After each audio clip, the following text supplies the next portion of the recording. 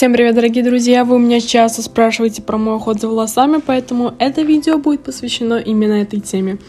Вот так я просыпаюсь с утра обычно, волосы максимально не уложенные. Я постаралась найти весь уход на Валберсе, но я же покупала его у парикмахера. Использую такую щеточку для волос массажную, чтобы точно волосы промылись. Маску для волос наношу каждый день вместо бальзама. Как обычно, мочу волосы, потом массажными движениями наношу шампунь. Когда нанесла маску, можно немного пожмякать, но это в целом не обязательно. Теперь просто нужно убрать лишнюю влагу полотенцем, жмякающими движениями, как обычно. У меня есть два средства для укладки, но я больше люблю этот гель. Такую маленькую капельку наношу на руки и распределяю чуть-чуть. Теперь опять же жмякаю по всей длине волос. Опять же, оставляю вам артикулы на мусс и гель.